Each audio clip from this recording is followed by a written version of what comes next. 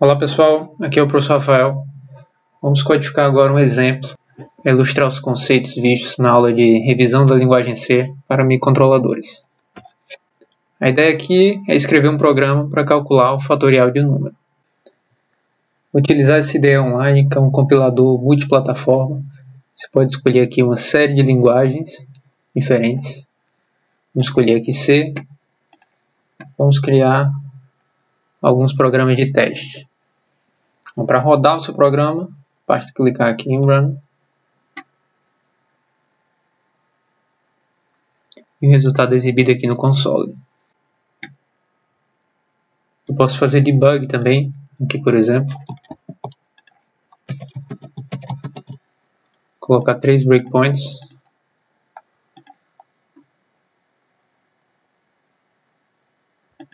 Iniciar bateu aqui no primeiro, segundo, terceiro. O exemplo proposto para hoje é fazer um, um código para gerar um fatorial de um número. Então, como é que a gente poderia fazer isso? A gente poderia criar um código fatorial, o mais simples possível seria criar um for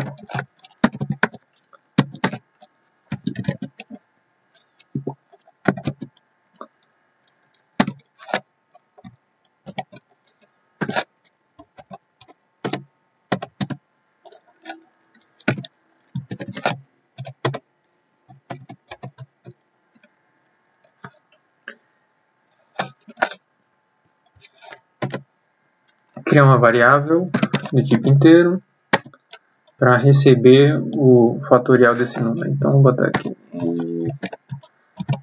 fatorial. Então, cria uma variável em fatorial que vai receber o fatorial de n. Se autocompletar aqui.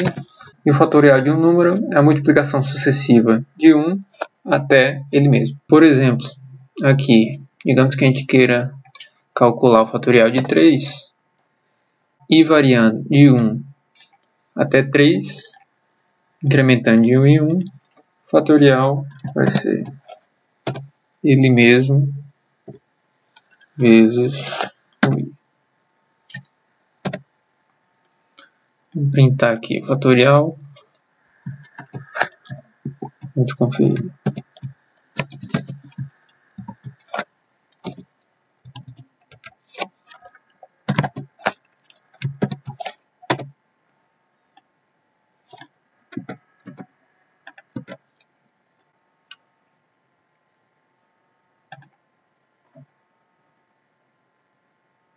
O que, que faltou?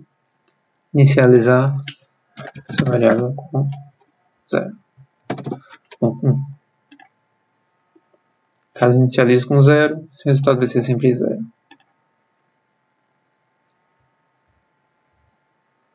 Tá aí, fatorial de 3 é 6. 3 vezes 2 vezes 1 dá 6. Bom, para incrementar isso daqui, a gente pode incrementar de diversas formas. Bom, primeiro incremento que a gente pode fazer aqui para enxugar é utilizar o operador que a gente viu aqui, enxugar um pouquinho o código. Outra limitação desse código, está fixo aqui o número que a gente quer calcular o fatorial. Para ilustrar, vamos criar um define aqui.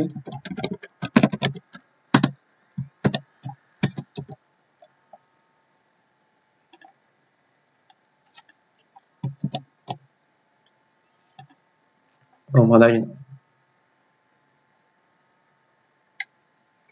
Bom, e agora qualquer modificação que eu faça aqui já vai se refletir em todo o código.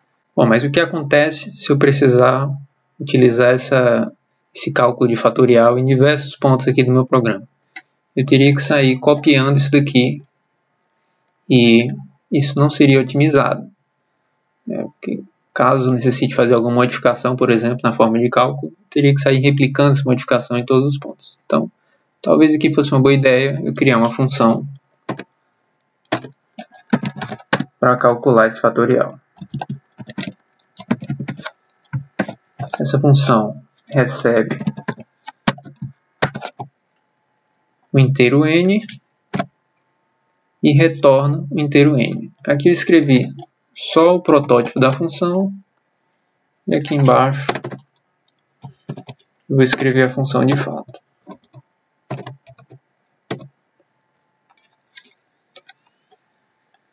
Copiar aqui o que a gente acabou de fazer.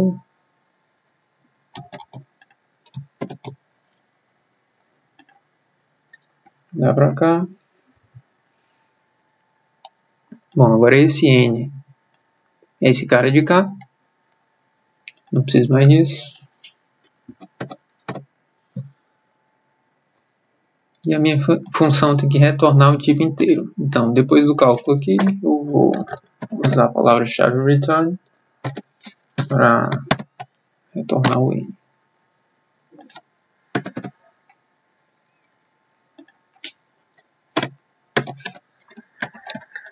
Agora que a função foi criada, vamos chamá-la aqui para fazer um teste. Exemplificar aqui.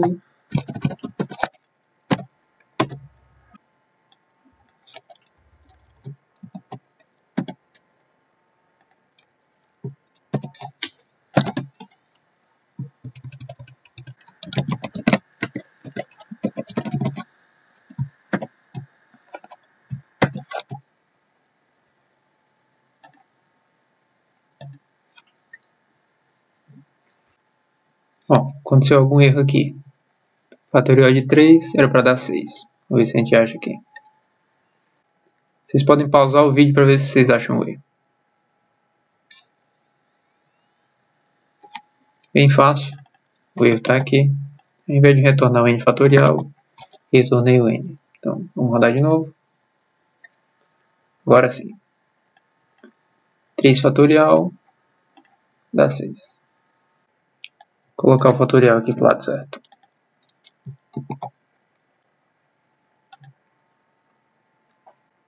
Bom, agora meu programa está modularizado. Sempre que eu precisar calcular o fatorial, é só chamar essa função. Então, se eu quiser, por exemplo, aqui,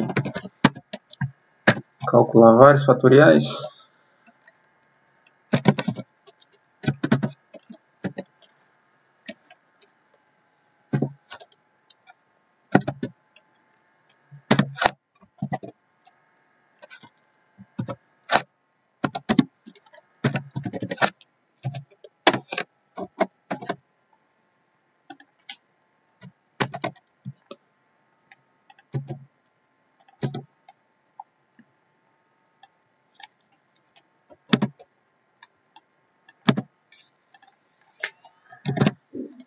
com barra N aqui também.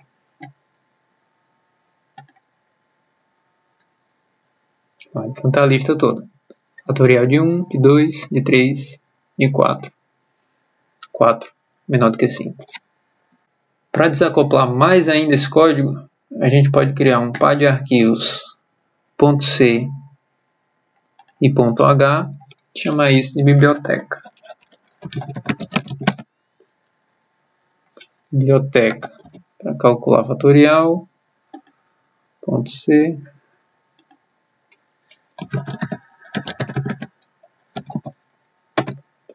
H. No ponto H, eu vou colocar o protótipo, tá aqui, e no ponto C eu vou colocar a implementação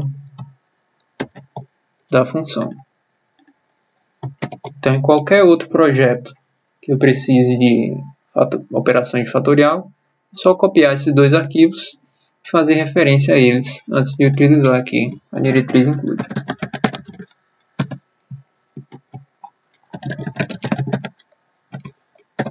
Fatorial.h Lembrando que arquivos de cabeçalho do sistema são incluídos com maior ou menor e arquivos locais com aspas duplas. Vamos rodar aqui e ver se dá a mesma coisa.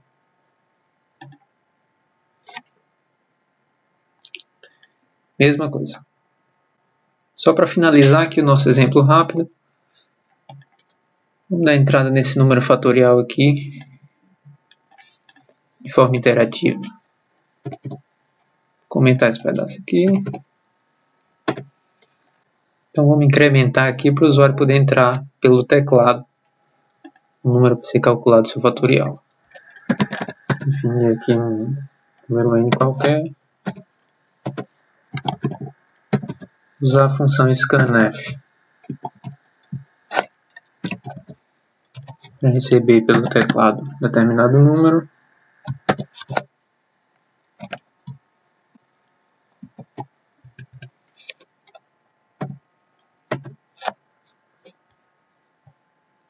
E vamos retornar o fatorial desse número.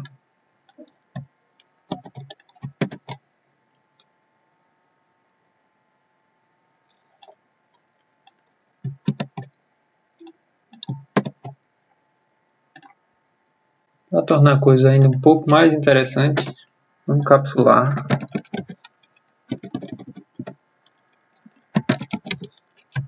tudo isso num laço infinito.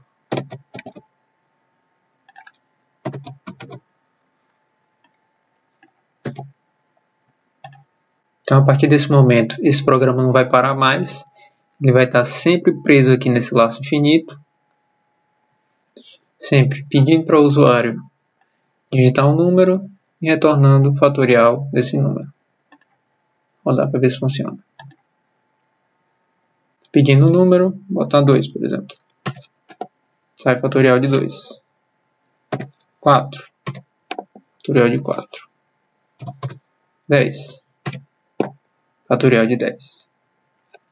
Por aí vai. A única limitação é sua criatividade. Conhecendo a sintaxe da linguagem, o céu é o limite. Isso conclui o exemplo. Até mais.